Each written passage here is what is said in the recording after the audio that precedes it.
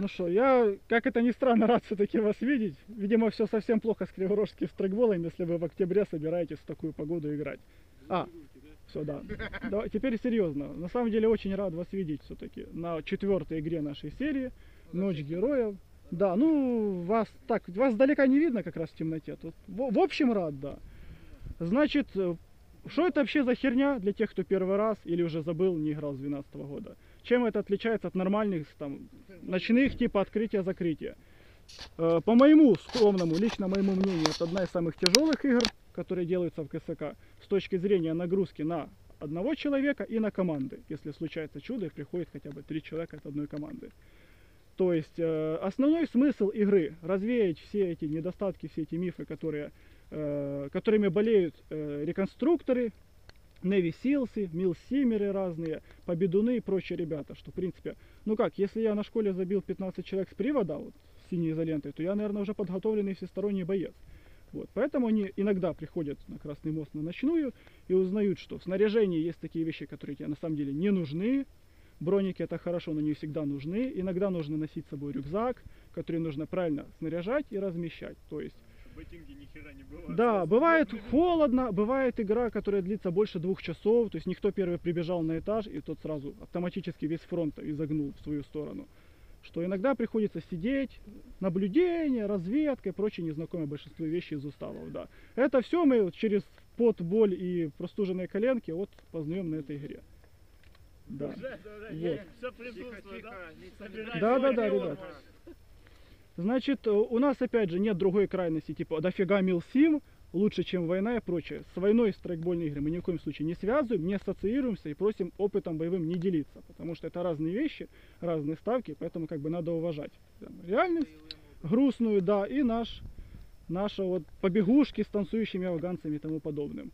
Значит, еще один момент. Я общался с Орионами. Начиная с прошлой игры, мы игру «Ночь героев», третью, уже четвертую, посвящаем памяти нашего товарища страйкболиста Матусевича Витахи, да. Хорошего парня, на самом деле, который играл на первых двух играх серии, сделал ту самую судоплатовскую конфету, бомбу, начиненную пиротехникой, а сверху засыпанную пудрой, которую они пытались продать Исафу, но перемудрили и сами, в общем, отправились к этим, к пудренным чертям. То есть убили весь э, афганский кишлак и засыпали пудрой. То есть парень был хороший, и я как бы далек от всех этих поминок и прочего, э, каких-то, скажем, официальных мероприятий в память человека. Но я считаю, что если он наш друг и им и остался, то вспоминать его хотя бы раз в год такой вот игрой, это было бы достаточно достойно. Поэтому играем. Тут будут моменты, какие-то удары ножами, какие-то попал, не попал. Я советую играть, ну, даже не сколько честно, сколько уважительно друг к другу. Потому что играют уже пятый год тот самый коллектив в основном, все всех знают. И, как показывал пример Твикс, например, на прошлом закрытии, что в случае спорной ситуации ты считаешь попал, все, я ухожу. И расходиться, чтобы не было никаких обид, и наш коллектив рос, а не уменьшался. Тогда, я думаю, мы не пострамим память нашего товарища и хорошенько сыграем. Все, с официозом закончили. Что по поводу игры? Некоторые из вас читали анонс, некоторые вовремя зарегистрировались, а некоторые даже заплатили взнос, да. Э, Пикник на обочине 6, месть Витоса. Месть красноперых. Да, да. да. Чеки-брики и моросить. Я уже научился у сталкеров, как не моросить. Мне объяснили в Днепре. Значит, какой у нас смысл? У нас прошлая игра закончилась, так как они продолжают друг друга. Уверенной победой афганца. Афганцев было сколько? Три с половиной? Витос. Ага. Ага, афганцы были в большом меньшинстве, но не выиграли в силу того, что... Подожди, было четыре человека, только Кевиновых пацанов, что трубы носили. Сколько тогда всего было? И, плюс еще были там Кузьмич, Витос, племянник. Хорошо. Обычно мы в меньшинстве, а в большой исафовцы. Да, ну, в общем, Исафа было чуть больше, но он сел на чинук и улетел там смотреть какой-то американский футбол. Да, поэтому территория третью игру подряд осталась за афганцами. Афганцы собрали оружие, барахло и пошли воевать дальше. Так как Исафа нет, а воевать хочется, они пошли там, где есть Исаф. Остались только местные ребята, вот вы видите, танцоры, йога-инструкторы в женском клубе, да, есть под Кабулом женский фитнес-клуб, чисто для женского контингента ИСАФ, и у нас там есть секс-инструктор один. По, по документам вы сами выясните, кто это. Вы- там мои яйца, ну, Это только если ты очень долго воевал, они остались там, да. У нас есть уличные торговцы, музыканты и прочие разные ребята.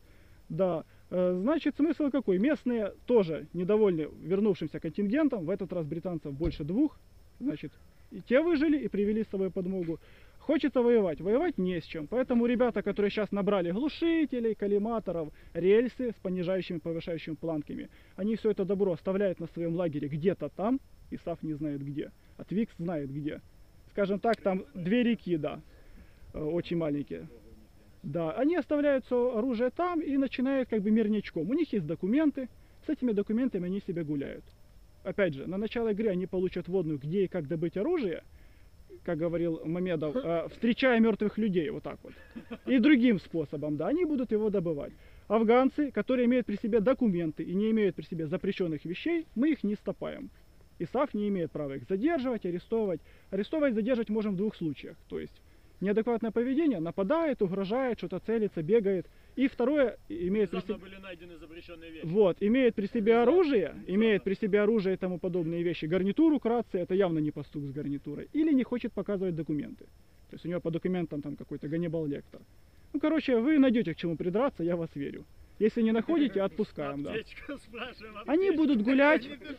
Значит, несмотря на то, что игра запланирована от Тихого, как обычно, по нарастающей, афганцы все жирнее, ночь все темнее, э, документы будут действительно до конца игры, то есть гражданские точно так будут ходить. Зона 25-30 метров вокруг именно лагеря, она не игровая, не боевая. То есть здесь можно делать гадости, торговать, воровать, продавать, развлекаться, тыкать дули, да, никакой стрельбы. То есть для тех, кто хочет махать ножами, я повторяю, никакой стрельбы. Нет, я повторяю еще раз, никакой стрельбы. Никакой стрельбы ножами. С третьего раза поняли, что да, про нож я не говорил ничего. Стрелять нельзя, да? Все остальное можно. Не, нож запрещенный. Ты всё правильно понял. Нож же не запрещенный. Ну зачем ты уточняешь? Да, ножами можно ширять. Не, Не, ну, ты можешь, Да, ножи, ножи можно применять, Миша. ты можешь идти с ножом и тебя за это не стопанут. Значит, еще раз, список разрешенных вещей. Личные вещи, там всякие памперсы и тому подобное. Э, бумага туалетная, телефоны, радиостанции без гарнитуры и ножи разрешены. Теоретически вы можете иметь при себе какое-то несовременное оружие, типа охотничьего ружья или старого пистолета, без патронов, без магазина. Вот. Вот. Да, как вариант, что напарник глотает ни магазин. Что-что? А если аркебуза заряженная, в ней нет ни патронов, ни С гвоздями, да? Нет, аркебуза, думаю, это уже слишком старая. При- Проходила Александр Македонский, оставил Да, луки собрали. Вот, вот, вот. Значит, что из интересного, ребята, по поводу документов. Документы сделаны двух комплектов. А ну ша там, блядь. Документы сделаны двух комплектов. Изнача- Её ща Изначально товарищи афганцы имеют на себя белые чистые легальные документы. Кто уже играл или читал анонс, если такие существуют, те в курсе, для чего они нужны. По ходу игры у ИСАФ будут каким-то способом появляться документы уже с вашими настоящими вот этими лицами, испорченными криворожским страйкболом, да, с оружием и всем остальным. То есть, если товарищ заходит побарыжить на блокпост, а его уже ждут, фоточка в рамке, их разыскивает милиция, висит на стеночке, то прием к нему будет совершенно другой. В этом случае его пленят, допрашивают, там, ставят ему клизму, в общем, развлекаются как хотят. Пленение по правилам ФСУ, кто помнит сколько это, полчаса или час? Да, я буду ждать, пока дадут правильный ответ. Полчаса. Или 40 минут все-таки, Ник. Полчаса и три Час. Или час. Час. Час. Вообще-то час. Я не знаю, но я буду Я говорить убедительно, да. Вот. Пускай будет час. Вот. В течение часа этого пленного талиба можно занять на хозработах на заготовке дров. Он никуда не убежит. Вот. Пацаны, Да, да. уже заготовил за всю ночь вперед. Ну, только выноси, да. Значит, задачи Не, стороны ну подожди, получили. А как же их перенести на два Не, а метра это уже- левее или правее? а это Стороны это получили свои задачи. Можете их открывать буквально через 10 минут. Афганцы сейчас двигаются на свой так называемый лагерь. Есть такая вещь, как передовой мертвячок. Передовой мертвячок должны были назначать командиры, если бы они были выбраны до игры. По сути, любая палка, любой диодик, который вы своей команде говорим, мы респаунимся здесь. Единственное, чтобы это было хотя бы метров 30 от зоны действия. То есть, если будет бой за какую-то точку, не прям под ней. Поэтому сооружайте сами, так как вы не смогли назначить Почему командира. я не за талибов? Сейчас Да, у. Витоса вроде бы назначили, да, но опять же, дать им одним только маячок, а вторым не дать. У ИСАФ будет свой, у афганцев будет свой. Их опять же можно захватывать, прийти просто выключить. разного цвета или? Из чего соорудить, из того они и будут. Могут быть разного цвета, могут быть не разного цвета. У меня есть стаканчики, то есть вы можете любой источник света, сверху деваете стаканчик белый, и это будет сразу понятно, что это ни на что другое не похоже. Он будет светить во все стороны. Значит, эти маячки можно выключать, подошел, выключил, все. Пока командир не придет, не включит его, никто на нем не респаунится. Можно накрывать артиллерией. Значит, какие вопросы? Пока никто не придумал вопросов. Куда бежать и что делать, шеф? По бинтам. Ранения есть, ранения у обеих сторон без привязки к СИБЗу. У афганцев все бинты у командира. Он единственный, кто может оказывать первую помощь. Пускай поразвлекается. У ИСАФ, подожди, бинтование у двух человек, которых сейчас назначим. Если Элла придет, она будет вторым медиком. Если не придет, у нас сейчас будет один медик. Все бинты у него. Э, Стас, Да. у- Для Эллы есть аккумулятор или оставить? Я автомат для нее привез. Если она не попадет на игру, то кто-то другой будет с ним играть в случае отказа. То есть у нас есть... Отжимаются? Что? Бинты отжимаются? Бинты не отжимаются, нет. Не, а мы же сами себя можем перевязать. Нет. А? Только командир. Какие самобинтования? Не, ну в смысле мы Потому что вы внутри, тупые из нас. хачи. Только командир. Или командир, или командир, кого командир? Или командир, или командир. А, ну, командир. Если уже почувствуете, что совсем плохо, сообщите мне. Пока один, да. Пока У один. нас это нас и так пятеро, у нас каждый второй медик. Да, вас по факту еще и больше будет в обороне, то есть проблема бинтов минут не будет проблемы. По поводу ранений, кто еще новый или кто забыл, одиночное попадание или очередь. Один шар или 15 шаров одной очередью, человек принимает положение лежа, если совсем холодно, сидя. С этого момента его можно добить или пленить, или оказать помощь бинтом. Пять минут, учитывая погоду. Жгуты, турникеты, Да, можно.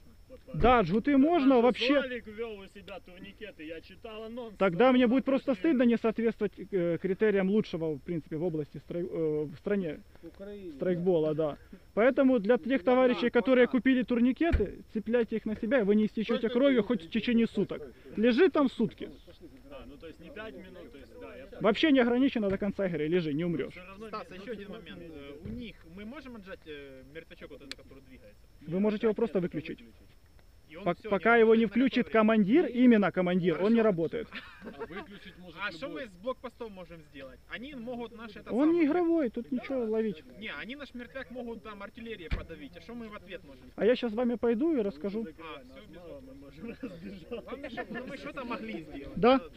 Товарищи исафовцы, вы пока к костру планируете, сейчас я вернусь. Вооружайтесь, снаряжайтесь. Костру, товарищи! Товарищи факовцы. Витас! Картонку я взял.